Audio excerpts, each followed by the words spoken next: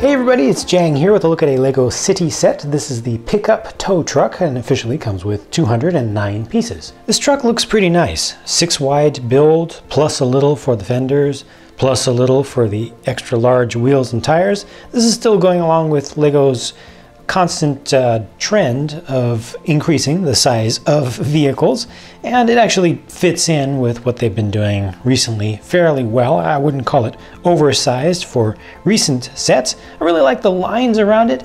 I like the uh, kind of faux fenders that they've set up back here. Too bad about that small gap there.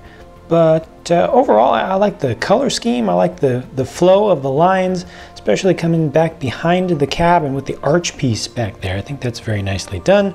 The tall antennae make a lot of sense. The one thing that I don't particularly like about this is actually the wrecker bar itself.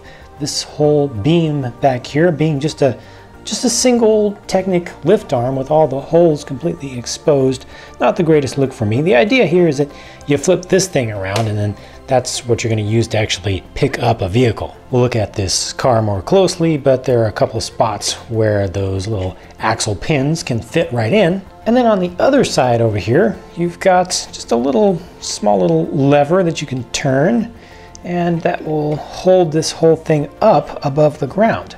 I think this is how that's supposed to be oriented to keep the bar still kind of low to the ground. And there's a joint down there, so this thing's actually able to tow a vehicle around and make itself around corners and back it into spots and stuff. These two cones on the back with the transparent orange on top can be used to actually set them out as traffic cones or safety cones and they also give you a important, again for safety, a fire extinguisher on the side little uh, wrench that you can use on the side for helping to change some tires and over here just a hammer type of device. Taking the roof off, there's a look at the interior.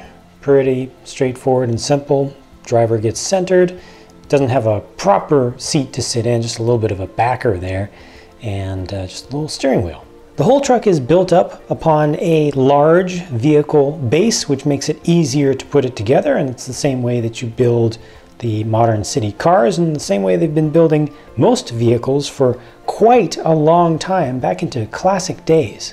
The included car is pretty normal for city cars with the round sloping front, a very simple build and the tires sticking way out from the fenders. That's a little bit awkward, kind of makes it look like an off-road vehicle as, as all of these from this series tend to do.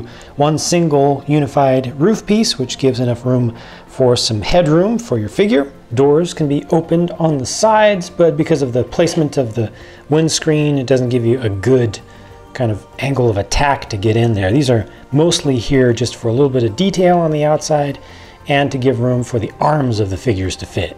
With the roof removed, you can see that there's just space for a single figure to be placed in there. Once again, you've got the steering wheel.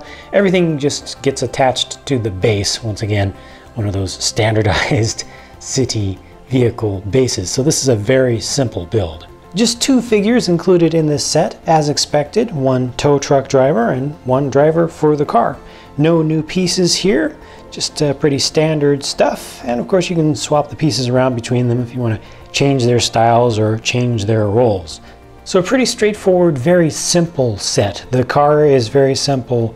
The wrecker bar is very simple. The design of the truck, I think, looks pretty nice. And a tow truck is a very essential service to have in any LEGO city. And I know that kids have always liked playing with tow trucks. So a good set to have, I think, for the younger audiences. I'm not convinced that older fans will find this to be all that satisfying.